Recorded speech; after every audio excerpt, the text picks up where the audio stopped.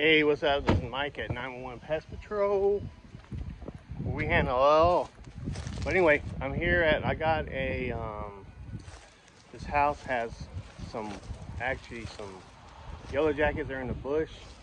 Man, these, these guys will come after you. So they usually have a carton underneath the actual uh, bush itself. So I'm gonna have to treat them and then dig up the carton.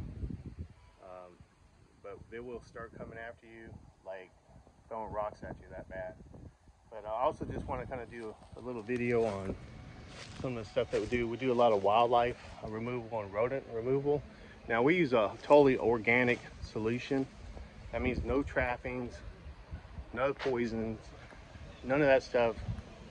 And the way we got it going on our system, they get out of there within 72 hours. And you're not going to have any problem with them because you got to eliminate that odorous smell and you got to eliminate all the pheromones that attract them back in there. Yes, I'm you do you can do a partial exclusion that means sealing it up. But the thing is exclusions aren't permanent. They're going to find their way back in there, especially squirrels and rats.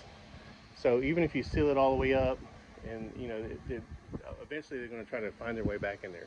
It may last you a little bit, but there's no permanent solution. Um, we use nature. We use the way to repel them out of the attic. They evict them out. Within 72 hours, they'll be out of there. Reapply, you know, uh, the attic part every six months. This keeps them out of there. Not just, even if it was, it was wide open, they're not going to go in there because it's not an ideal place. They can't stand the stuff that we use. It burns their eyes and everything, and it's totally humane.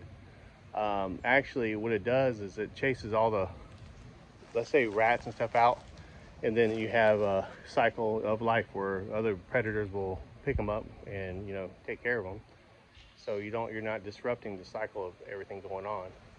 But like you have a lot of stuff raccoons and stuff they'll tear stuff up and they'll come back. I don't care what you put on there. You know they'll they'll tear back in there. If they smell the pheromones squirrels are really bad with that. Squirrels will come in especially if they got young in there they will come and tear right into another place even if you seal it up. So this is a better solution. It's a better, safer solution for everybody. If you're interested, give us a call. Uh, we service all the way from Houston down to Galveston. And it's a 911 pest patrol, not control, patrol, like my hat. And then we'll take care of you. Thanks a lot.